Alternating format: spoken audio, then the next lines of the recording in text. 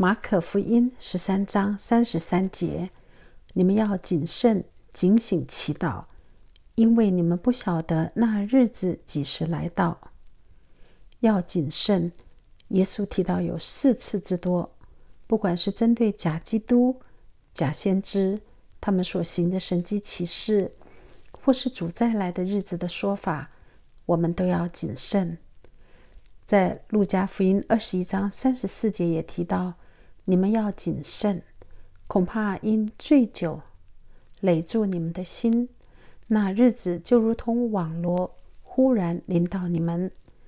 经文中的醉酒，它的意思包括了酒精、毒品、性爱、过量操劳或其他不良的习惯，这就是醉酒的意思。要警醒祷告的警醒原文是保持自己清醒醒着的意思。